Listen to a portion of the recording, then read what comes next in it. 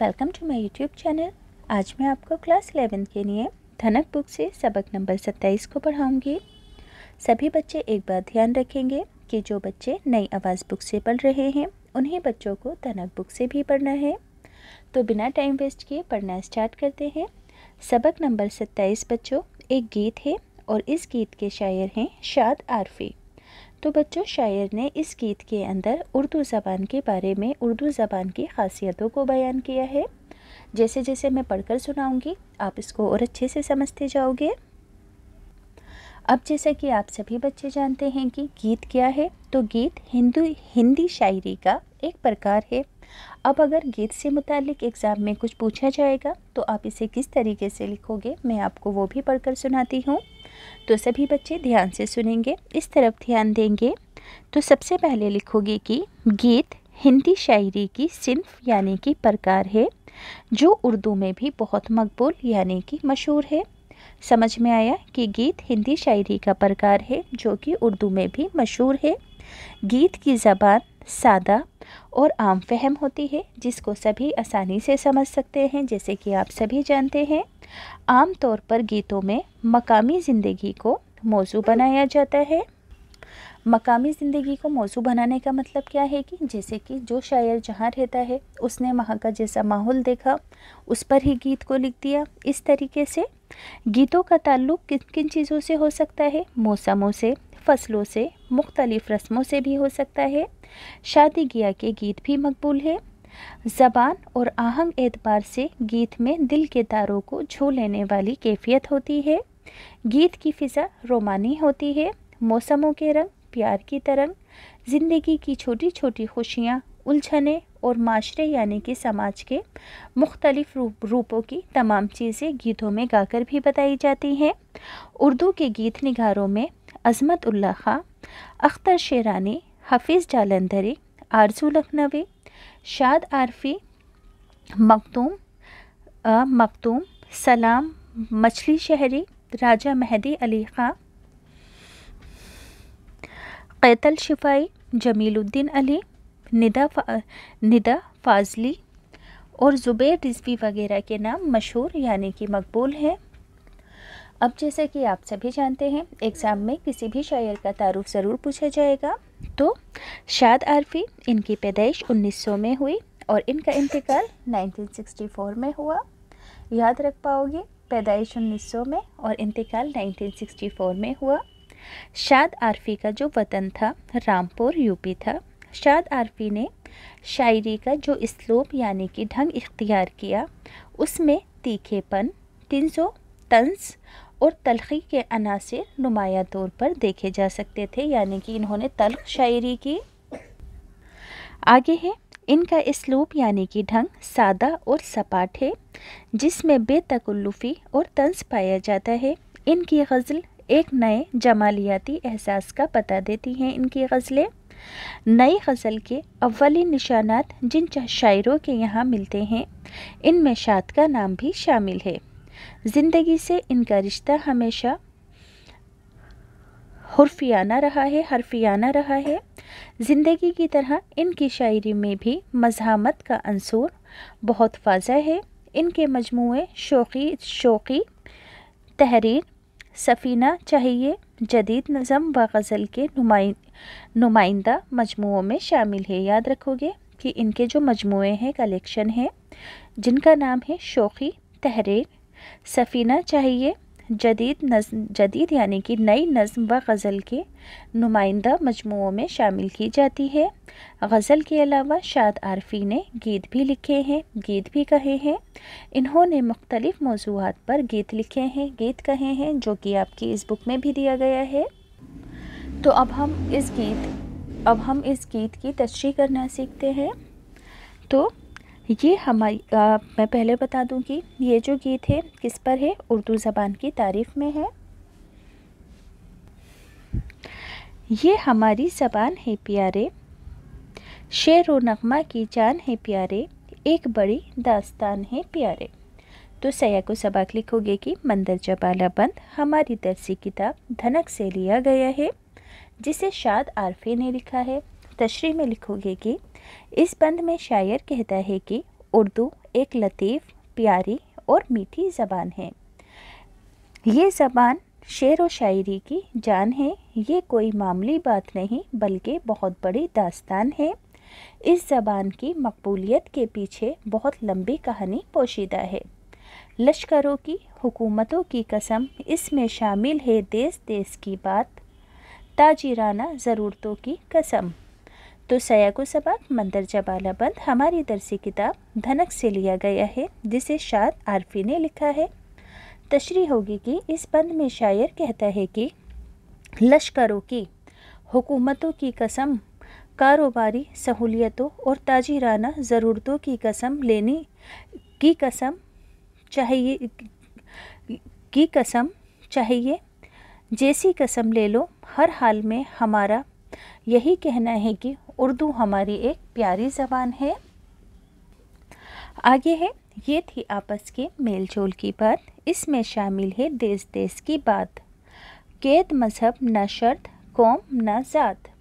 तो सयाको सबाक मंदिर जबाला बंद, हमारी दरसी किताब, धनक से लिया गया है, जिसे शाद आरफी ने लिखा है। तशरी, इस बंद में शायर कहता है कि, उर्दू एक ऐसी ज़बान है, जिसमें ना ज़बान की कैद है और ना ही किसी कौम की कोई शर्त, ना किसी ज़ात पात का फ़र्क है, ना किसी फ़िरके की रोक टोक है, बल्कि उर्दू ज़बान का वजूद आपसी मेल जोल और ताल्लुकात की बिना पर ही बना है।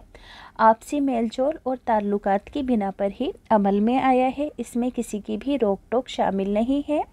आपसी ताल्लुकात की बिना पर इसमें परदेश की बात शामिल है।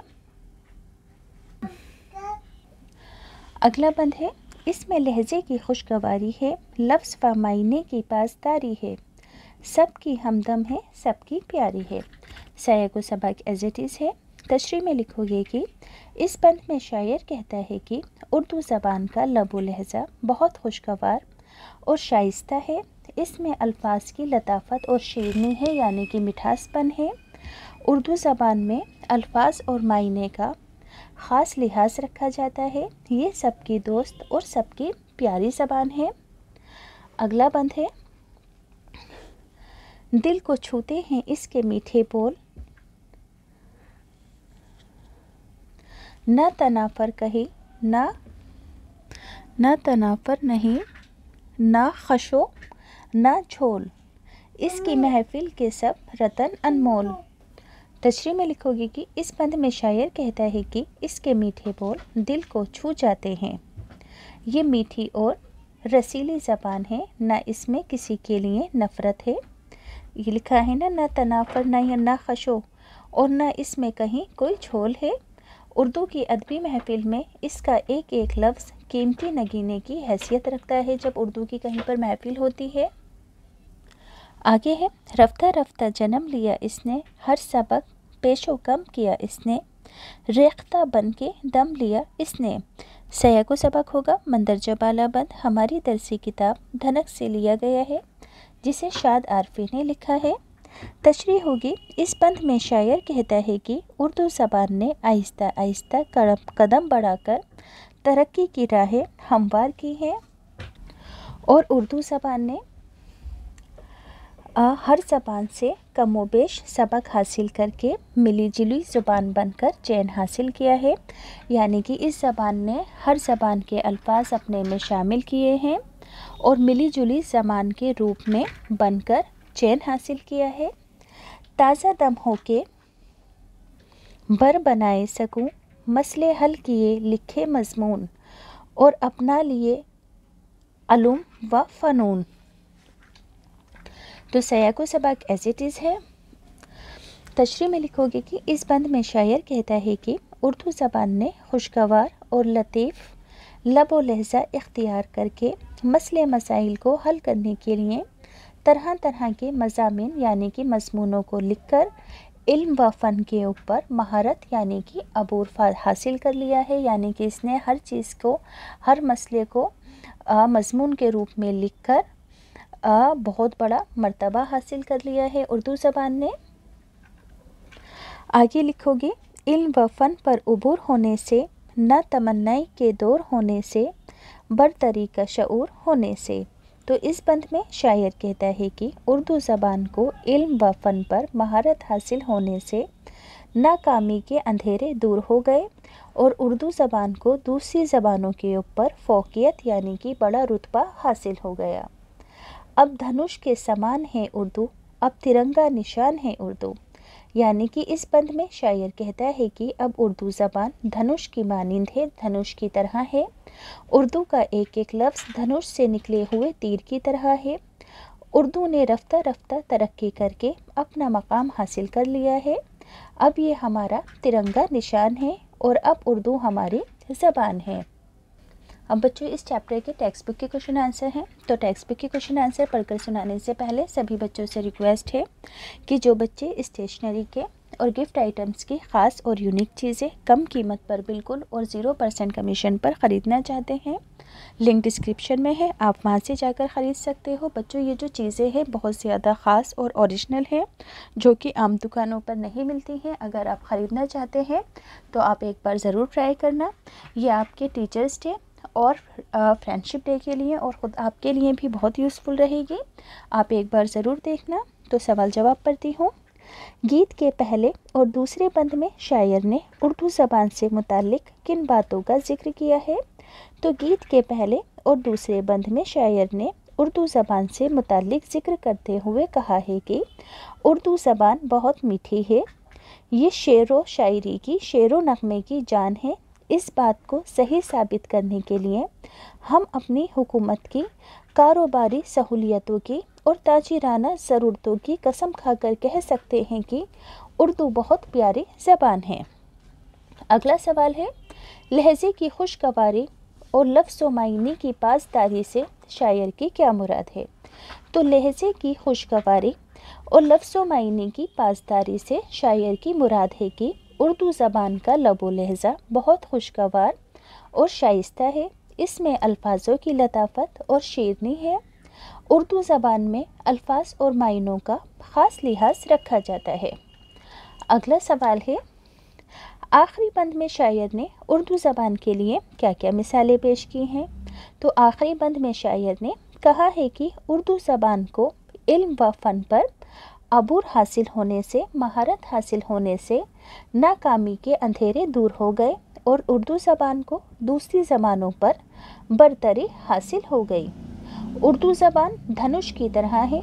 उर्दू का एक एक लफ्ज़ धनुष से निकले हुए तीर की तरह है। अब उर्दू ज़बान हमारा तिरंगा निशान बन गई है।